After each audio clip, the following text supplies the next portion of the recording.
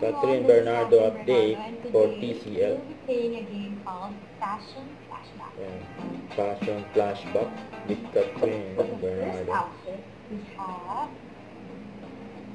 Oh my God! Galing pa sa So this washing. gown, I don't know if you're familiar with this, but this was my gown for my debut, for my Ayan. So, 18th ni Catherine ang birthday. debut niya. And I remember my niece, Kasama niya si Lexi, Lexi. matchy pa kami during that day. So I was wearing this, and then may mini version ako na to because she was so little pa back then.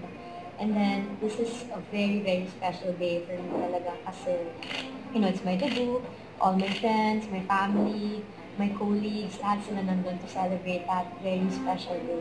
Let's see. Outfit We have 2. This one! Very, very special night. You know, kami mga um, artista, one of the events na excited kami puntahan every year is the ABS-CBN Ball. Yeah, this was my outfit during that night. I had to lose weight kasi medyo sexy siya. Here, I think ito rin yung favorite look ko sa lahat ng ball na pinuntahan ko because I was wearing a short hair, parang short pop hair with bangs. And I really had a great time during the Star Magic Ball.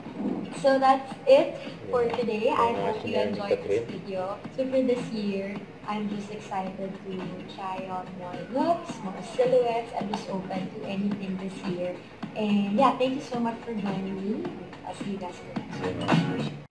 Huwag kalimutan mag-subscribe, click ang notification bell kung na-update ko ang reaction vlog. Bye guys, thank you for watching.